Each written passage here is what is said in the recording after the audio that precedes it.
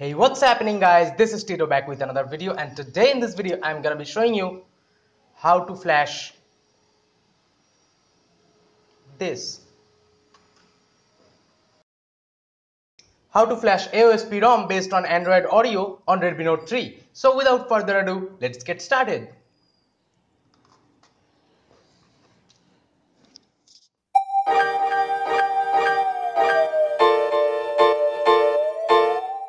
First, you need to go to this XDA thread which will be listed in the description box below.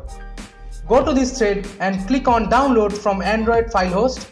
Below that, you will see the ROM OS version is listed as 7.x Nougat. Do not worry, it's because XDA developers doesn't support 8.0 there yet. To flash this ROM, you need to have officially unlocked bootloader and TWRP recovery installed. As you can see, I am on Lineage OS right now Just turn off the phone and boot into TWRP recovery by pressing the volume up and the power button together. Once you are booted into TWRP recovery, go to wipe, then advanced wipe, wipe cache, Dalvik cache, system and data.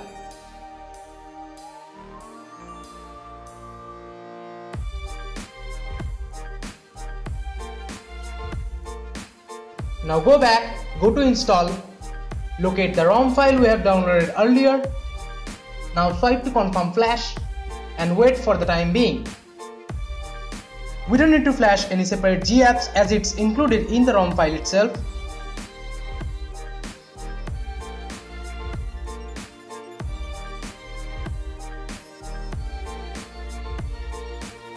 Once done, hit reboot system. Now you will see a message which says no OS installed. Don't worry, just swipe to reboot.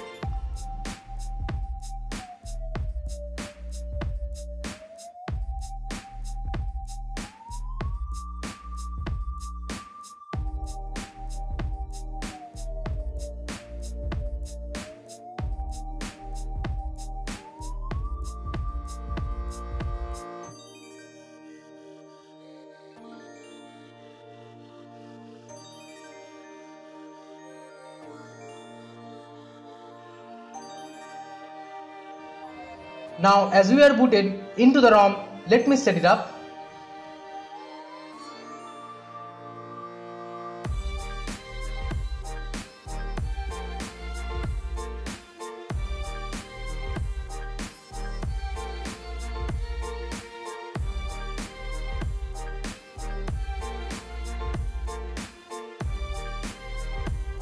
As it's a AOSP ROM, it comes with only 15 preloaded apps. So pretty much stock, no bloatware here.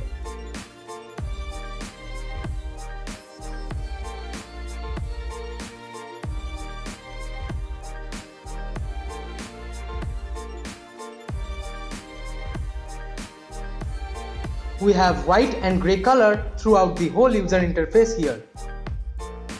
By going into the settings, right away you can see the new minimal layouts here.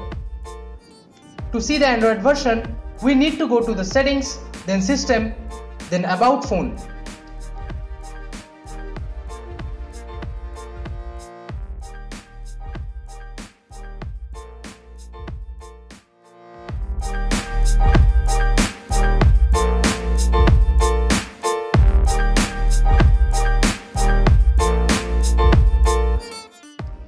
Here we have a black octopus easter egg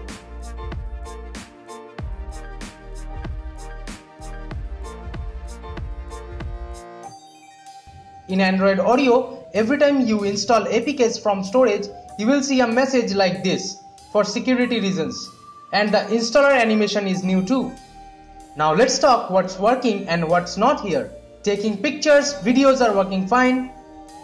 Fingerprint scanner is working unless you have a good fingerprint scanner. Wi-Fi mobile data is working. Torch is working. And here is the sad part as it happened with Nougat at very first of its custom ROMs releases, VoLTE is not working as of now, and Oreo's picture-in-picture feature is not working yet. For more details on bugs, check out the XDA thread. Considering it's the first Oreo-based custom ROM for our beloved Redmi Note 3, This ROM is pretty smooth as you can definitely give it a try. So that's pretty much it for this video guys. If you have any questions, queries or suggestions, let me know in the comment section down below. You can follow me on Facebook, Twitter, Instagram, Snapchat. If this video helped you out, give it a big thumbs up and share this video with your friends if you feel like it. Subscribe to the channel if you appreciate my work, it's totally free. And don't forget to click the bell icon next to the subscribe button because when each upcoming video goes live, you will get notified instantly. That's been it. Thank you for watching. This is Tito from KTN Tech signing off. You guys have an amazing day. Bye bye now.